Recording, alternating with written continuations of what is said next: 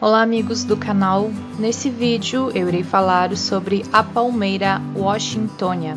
Mas antes eu quero falar com você que assiste os nossos vídeos e ainda não é inscrito no nosso canal. Inscreva-se e ative o sininho para receber nossas notificações de vídeos. Durante a semana tem vídeo novo aqui no canal. Bom, o nome científico desta palmeira é Washingtonia robusta. Esta palmeira é conhecida de forma popular como palmeira de saia ou palmeira washingtonia. Esta planta pertence ao gênero das Washingtonia e à família das Arecácea. Esta palmeira é nativa dos Estados Unidos e o seu ciclo de vida é perene. Essa planta atinge uma altura de quase 25 metros. As folhas desta planta são grandes, de cor verde e em formato de leque. Um detalhe interessante é que quando as folhas morrem, elas se dobram para baixo, formando uma espécie de saia ao redor do tronco desta palmeira. E é por isso que um dos nomes populares desta planta é palmeira de saia. As flores desta planta são bem delicadas, pequenas e de coloração rosada.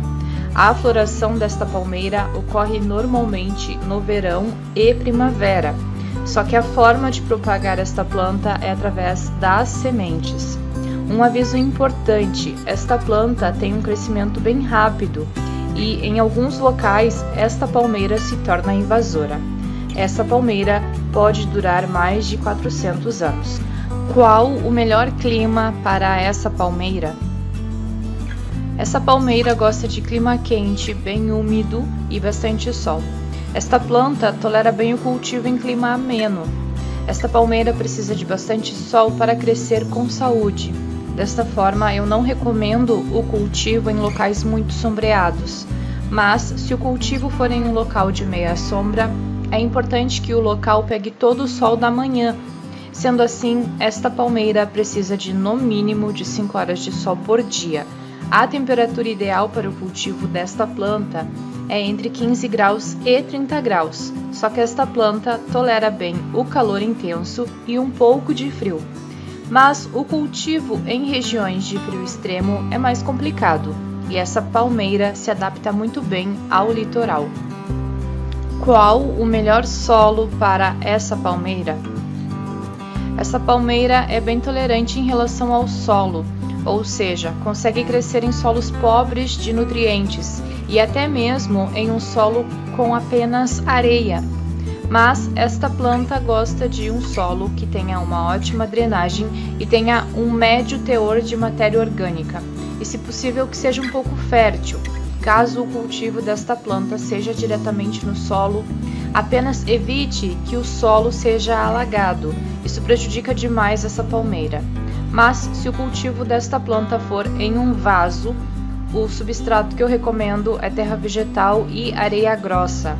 O vaso deve ser de tamanho grande e com furos no fundo, isso porque esta planta tem um tronco muito grande. Como regar essa palmeira?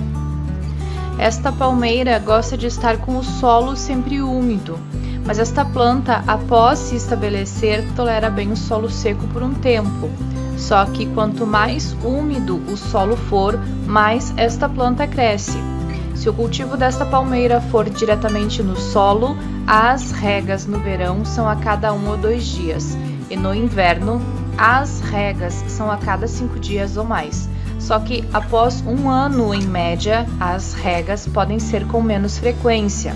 Caso o cultivo desta planta seja no vaso, as regas no verão são a cada um ou dois dias, e no inverno, as regas são a cada quatro dias ou mais. Apenas evite que o solo fique extremamente seco quando o cultivo for no vaso. Se você gostou deste vídeo, deixe seu like e compartilhe com os seus amigos. E se você gostou do nosso canal, inscreva-se e ative o sininho.